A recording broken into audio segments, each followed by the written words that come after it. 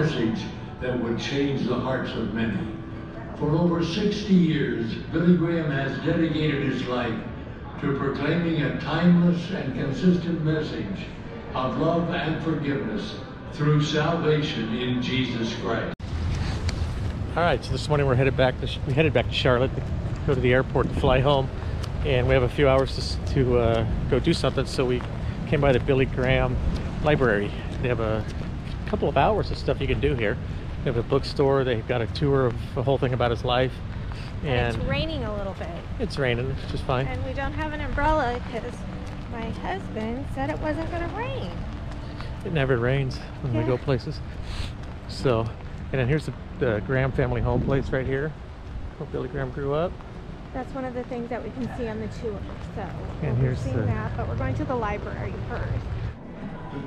So right here they have like a setup of the dairy farm that Billy Graham grew up on. The cow will start talking to us in a few minutes, but the cow looks real, really real. Thousand hills and wealth in every mile. well, hello there. Didn't see you coming. My name is Bessie. I love that song because it comes right out of the book of Psalms. This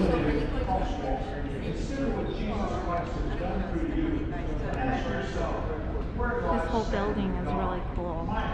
The rafters. Beautiful building. Yeah, and all the um, the wood beams going across. It has structures on all the wood beams. And Circulation of 5 million readers. Billy Graham made it clear many times that these are not his answers, but God's answers, revealed in the Bible. As the hour of decision touched so many lives on radio, God showed Billy Graham to draw men, women, and children to the saving love of Jesus Christ.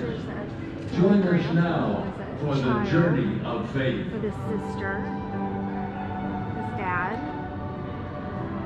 And this stuff here is authentic stuff from their from farm. their farm when he was growing up since way back in the 40s.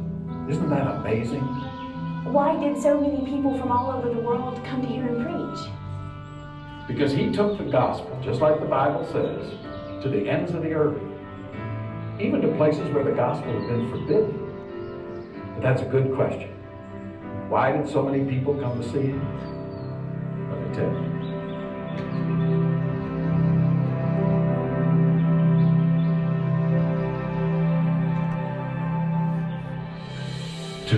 Regardless of their beliefs, people wonder how God used an ordinary man to inspire millions to respond to the message of the gospel. There is only one person that can send revival, and that is the Holy Spirit. And we're here to honor and glorify only one person, and that is the man in the glory, Jesus Christ. What were his shape his life for this special task?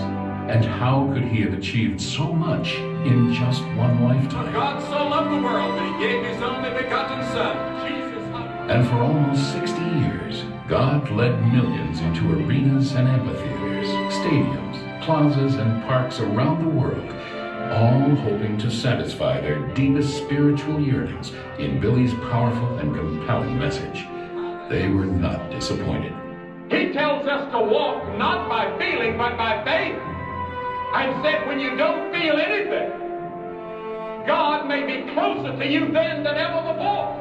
Oh, and we're praying that in these days we might feel old-fashioned, heaven-sent, Holy Ghost revival that will sweep our nation from coast to coast. God began working early on Billy through godly parents. Young Billy Frank was like most American boys who came of age during the Great Depression. He liked cars, girls, and sports, and dreamed of becoming a Major League Baseball player. But every Sunday, like it or not, Frank and Laura Graham took their youngsters to the Associate Reformed Presbyterian Church in Charlotte. Then, one night, a family friend persuaded Billy to go hear visiting evangelist Mordecai Ham. That night, God began to call Billy. one night when the invitation was given, I just said, Lord, I'm going. Yeah.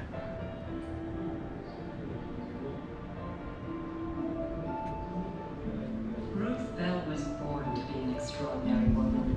Her parents, Dr. Nelson Bell and his wife Virginia, the people of China as medical missionaries. It wasn't easy. Those were troubled times. As a consequence, it was easy as a child to give my heart to the Lord Jesus. As if from birth, God was already preparing her to be Billy's life partner and what he would later call his chief spiritual advisor. Having grown up overseas, This film's about to begin, uh, but you're welcome to stay as long as you want. This is the hour of decision with Billy Graham.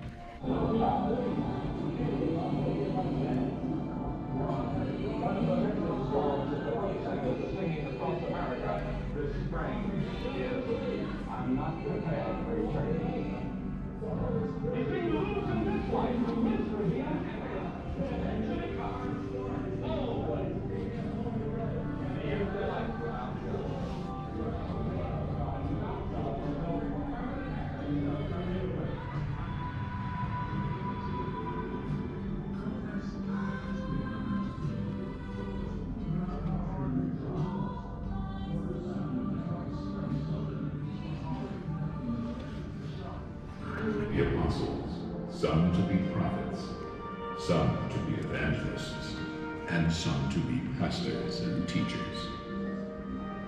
The role of the evangelist is to tell people in the power of the Holy Spirit with confidence that there's a way to deal with sin. And it was Jesus who said, I am the truth. When Christ comes into your life, the Holy Spirit gives you a new love for other people and a burden to tell them about Christ and His salvation. But Billy Graham brings Thank you very much.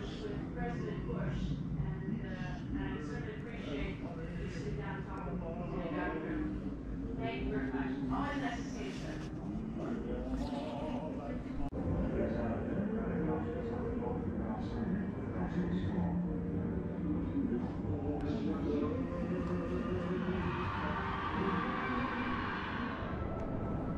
hear a great deal about poverty in the country, and there is.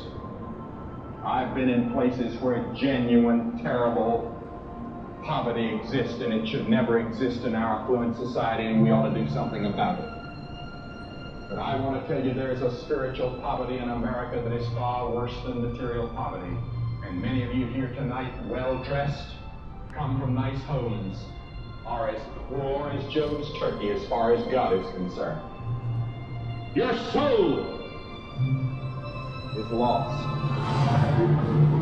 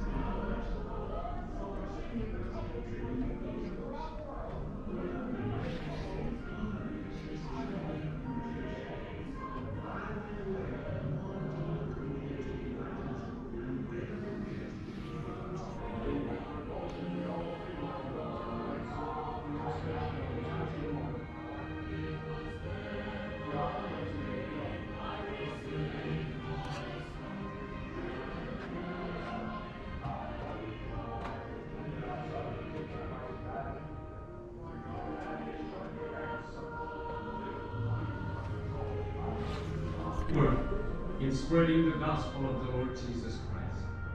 I believe that this was a great moment for world evangelism. He was God.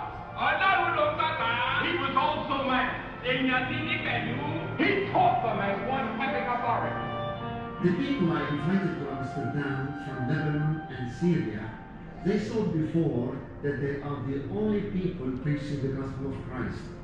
But in Amsterdam, when they saw the thousands of people serving the Lord, they were encouraged. A picture of me scattering seed with the Bible in my hand, and that's what we've been doing in our organization, and that's what you've been doing in your churches, scattering seed.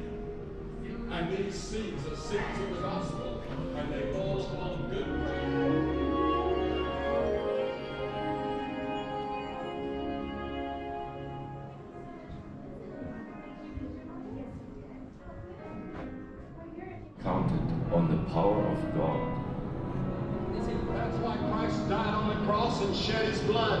Not even the repressive government could stop God from bringing Reverend Graham to Romania. I saw it with my own eyes. Hundreds of thousands packing some church. Nothing symbolized the division between the communist states of Eastern Europe and the rest of the world more vividly than the Berlin Wall, erected in 1961 by East Germany's communist government to stop the escape of its citizens to the West. Premier Khrushchev even came from Russia to inspect it. For almost 30 years, East Germans tried every means possible to escape, and many were killed in their attempts to be free. Christians on both sides of the wall prayed that God would one day intervene and knock it down. God heard their prayers. Eastern Europe and the Soviet Union began to weaken. And Billy Graham was in the forefront, continually seeking to deliver the good news of hope and salvation to the oppressed. During this time, God softened the hearts of many communist officials, enough to enable Billy to bring God's word to hundreds of thousands living behind the Iron Curtain. Being able to preach in communist Eastern Europe was an incredible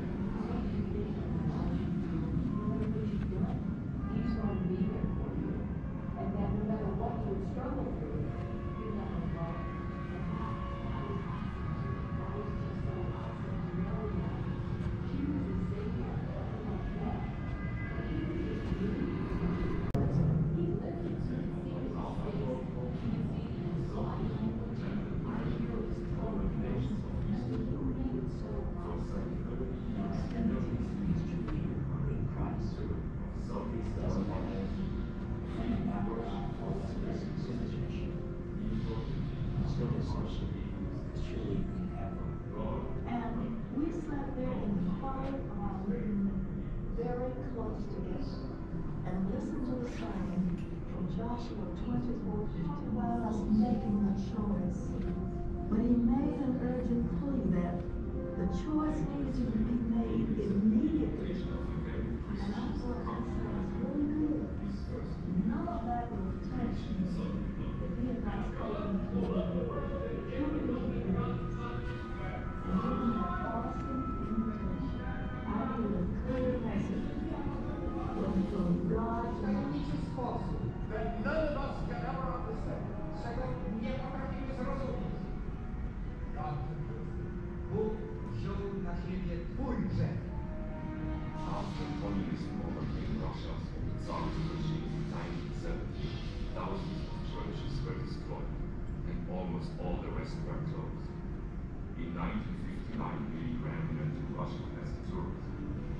strictly forbidden to preach. Burned in was spirit by what he saw, ist, dass das Rastlens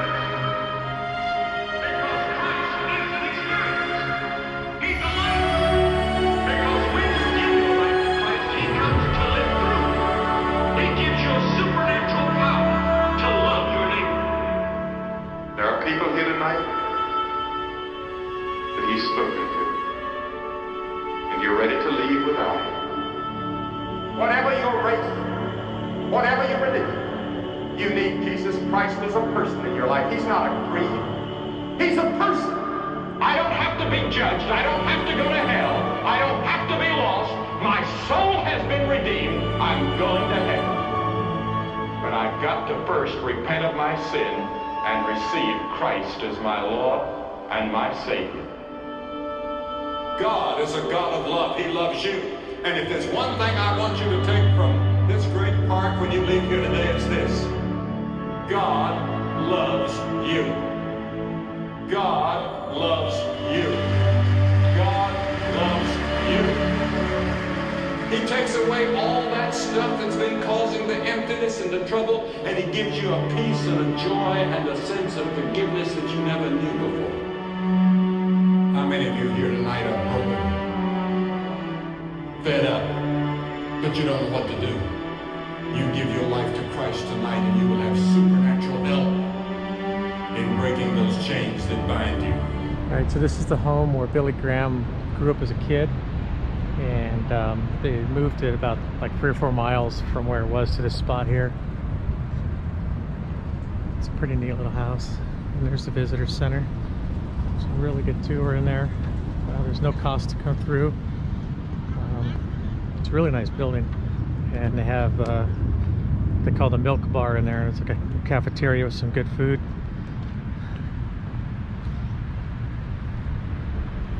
silo.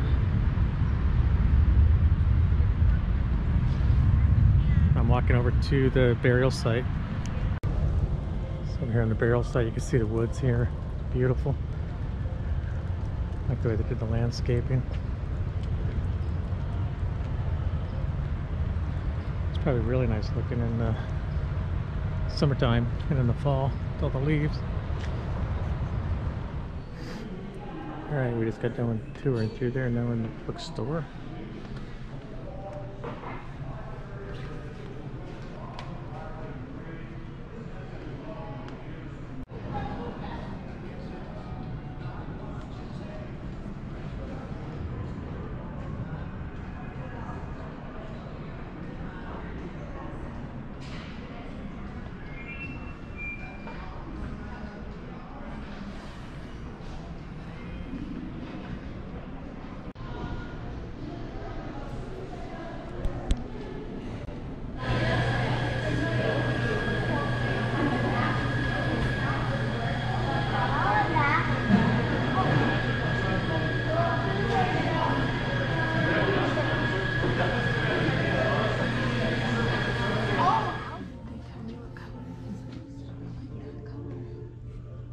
Looks blue to me.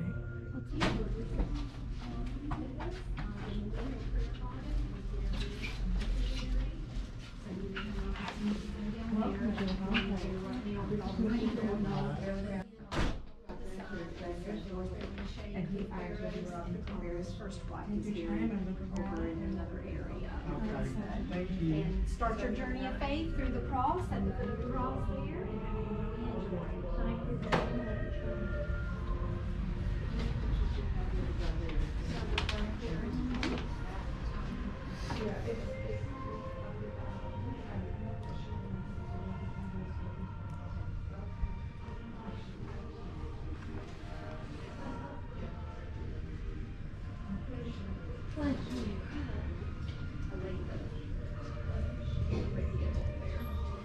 Oh, okay, thank you. Do you need help? No, um, give her the, uh, just, uh, okay. Do you need a? And, thank you. Her, Mother decided she wanted, um, the seafoam grant, because it didn't like us doing it on. Some of the things are, and some of them are very close, because if you look at that out. So when we got here, it was pouring rain, and we didn't have an umbrella. Didn't think it was going to be raining on this trip. And when we walked up, uh, two lovely ladies opened the doors for the building for us. Those two glass doors, and welcomed us in. Uh, it was really nice of them. So, if you're ever in uh, Charlotte, uh, North Carolina, or anywhere near, it's uh, really worth visiting here. It's a really, uh, really interesting place.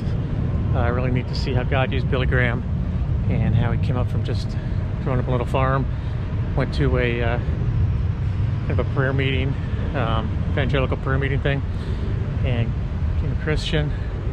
And he's touched the lives of just millions and millions of people, and he continues to. His ministry will be around for a long time, even though he passed away a couple years ago at 99 years old. So, anyways, thanks for watching.